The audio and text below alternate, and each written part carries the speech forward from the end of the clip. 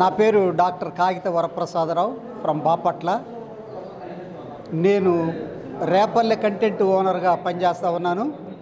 వాస్తవంగా కంటెంట్ ఓనర్గా ఎందుకు తీసుకున్నాను అంటే ఇతర ఛానల్ వాళ్ళు బహుజనుల వార్తలు వాళ్ళ ఛానల్లో రావట్లేదు కాబట్టి తప్పకుండా అంబేద్కర్ టీవీలో ఈ వార్తల్ని ప్రచురించాలని చెప్పేసి తెలియజేస్తూ నేను దీంట్లో కంటెంట్ ఓనర్గా రావడం జరిగింది.